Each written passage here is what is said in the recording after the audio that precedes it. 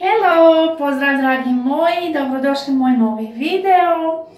Za sve vas danas pjevam Rock Me Baby, jej!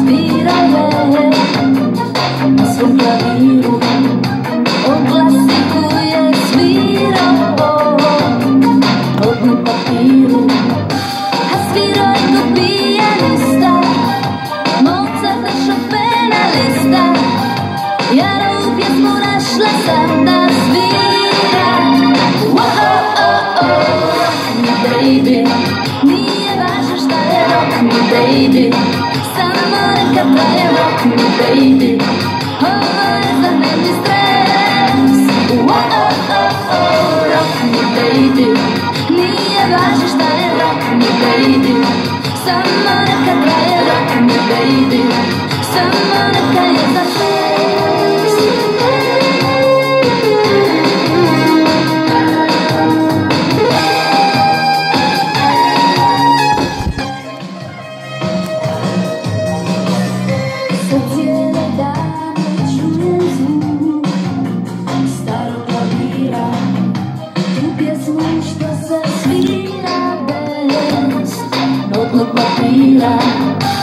klasika je da se sluša da duša.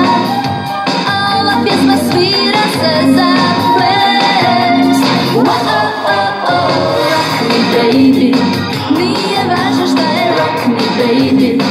Samo neka rock Ovo je za mene oh, oh, rock baby. Nije važno šta je rock me baby